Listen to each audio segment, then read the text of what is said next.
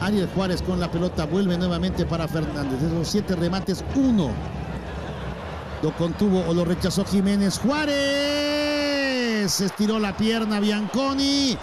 Así se liberó de la marca de Eduardo Álvarez, pero no encontró el gol Miguel, que hoy se despide del rojo. Estuvo a punto de dar el resultado las modificaciones del señor Díaz. Fíjate la conexión. Por el sector derecho.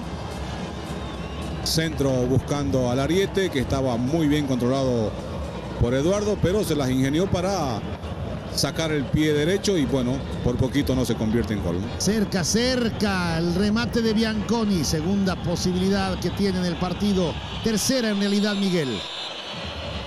Tigo Sports.